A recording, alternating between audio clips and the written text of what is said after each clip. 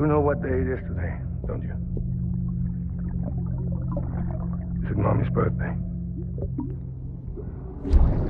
Is it BB's birthday? No.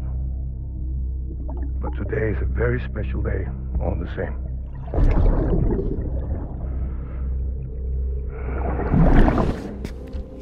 A special day for a special someone.